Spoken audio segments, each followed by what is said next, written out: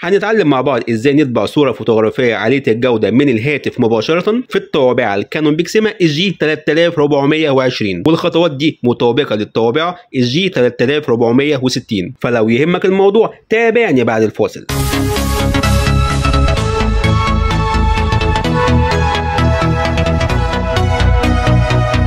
السلام عليكم ورحمة الله وبركاته. ازيكم أخواني عاملين إيه؟ أخباركم إيه؟ إن شاء الله تكونوا بخير وفي أفضل حال. معاكم أحمد الساب من قناة كانون بالعربي وحلقتنا النهاردة هنعرف مع بعض إزاي نطبع صورة فوتوغرافية عالية الجودة من الهاتف مباشرة في الطابعة الكانون بيكسيما الجي 3420 وهي هي نفس الخطوات في الطابعة الكانون بيكسيما الجي 3460 وإن شاء الله الحلقة تنال إعجابكم. أول حاجة هنعملها هنجيب الورق اللي هو الورق ال glossy تمام؟ أنا جايب أكتر من ورقة. الورق ده اسمه ورق photo glossy paper أو ورق لامع. وحجمه 4 في 6 في منه حجم A4 وفي منه حجم 4 في 6 هتلاحظ إن في وش بيلمع كده زي ما أنتم شايفين في لمعة. والوش التاني مطفي زي ما أنتم شايفين. فهنعمل إيه؟ هنحط الورق هنا كده بكل سهولة كده. تمام؟ بالطول. ونيجي هنا كده ونقفل على الورق عشان الورق ما يلوحش معانا.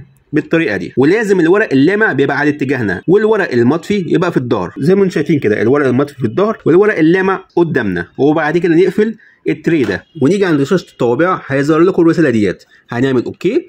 هنختار أول اختيار معانا حجم الورق 4 في 6 أو حجم الورق 10 في 15 بالاتجاه اليمين 4 في 6 ممكن تقعد تدور عليها كتير وبعد كده تضغط okay. لكن نوع الورق اللي هو plain paper هنخلوه photo paper plus glossy 2 اللي هو plus glossy 2 ثم نضغط okay لو انت ما عملتش الاختيارات دي في حالة الطباعة من الموبايل على ورق مش مطابق للاعدادات هيظهر لك عطل اسمه support code 2114 بعد كده هنعمل إيه يا أبو حميد؟ هنروح للموبايل. أو الهاتف ونتبع الخطوات واحدة واحدة مع بعض. فيلا بينا. فأول حاجة هنعملها هنفتح شبكة الواي فاي تمام؟ اللي موجودة عندنا ونختار اسم الطابعة في الشبكة. زي ما أنتم شايفين تاني اختيار مكتوب عليه direct وبعد كده جي 3420 series هو ده اسم الطابعة نختاره عادي جدا. وبعد كده هنقفل القائمه دي ونروح للألبوم أو الاستوديو اللي أنت حافظ جواه الصورة الفوتوغرافية عشان تطبعها. وعلى سبيل المثال الصورة دي أنا عاوز أطبعها. هنعمل مشاركة أو share ثم نختار برنامج كانون بتاعنا اللي إحنا نزلناه. ثم نختار yes هتلاحظ الصورة بتاعتنا بالشكل ده. قبل ما نطبع لازم نخش في print settings عشان نظبط باقي إعدادات الورق وحجم الورق. هنختار print settings ثم نختار تاني اختيار paper size وهتلاقيه جنبه كلمة A4 ضغطه واحدة عليه. نختار حجم 4 في 6 أو حجم 10 في 15 زي ما أنتم شايفين أنا اخترت 4 في 6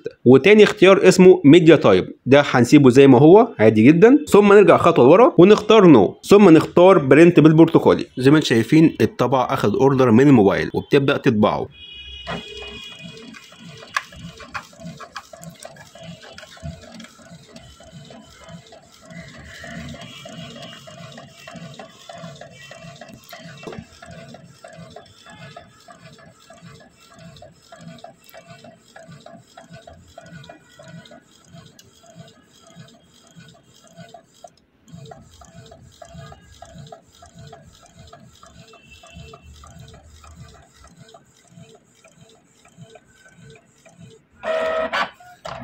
زي ما أنتم شايفين طبعت الصورة اللي موجودة في الموبايل بكل سهولة. طب على سبيل المثال أنا شايف الصورة اللي خرجت لي غامقة شوية. عاوز أغير الاعدادات بتاعتها بحيث تطبع لي صورة فاتحة شوية. هنعمل إيه؟ هعمل مشاركة أو share ثم هنختار برنامج Canon زي ما إحنا عارفين. ثم نختار Yes ثم هتيجي عند Print Settings نغيرها ونخلي نوع الورق اللي هو ال Media Type ده نخلوه أول اختيار Plain Paper ثم نرجع خطوة لورا ونختار No ثم نختار Print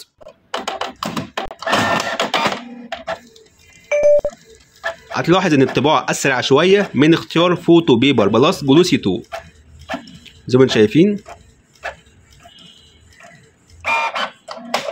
زي ما أنتم شايفين الصورة دي طبعتها من اختيار Plain Paper اللي هو نوع الورق Plain Paper وده اختيار Photo Paper Plus Glossy 2 وفي حاجة مهمة جدا عايز أوضحها لكم. لو لاحظت إن الصورة بتتمسح معاكم وأنتوا بتعملوها كده مثلا يبقى عندك ثلاث مشاكل لازم تحلهم. يا إما ممكن يكون نوع الورق مش كويس أو ممكن ما بتستخدمش حبر أصلي أو أنت عامل في إعدادات البرنامج إن الورق غير مطابق للورق اللي مستخدم في الطابعة. وبكده انتهينا من موضوع حلقة النهارده. أتمنى يكون أعجبكم. أتمنى الموضوع يكون أعجبكم. منتظر أي استفسار لكم بخصوص طابعة ال Canon كان معاكم أحمد السيد من قناه كانون بالعربي والسلام عليكم ورحمة الله وبركاته.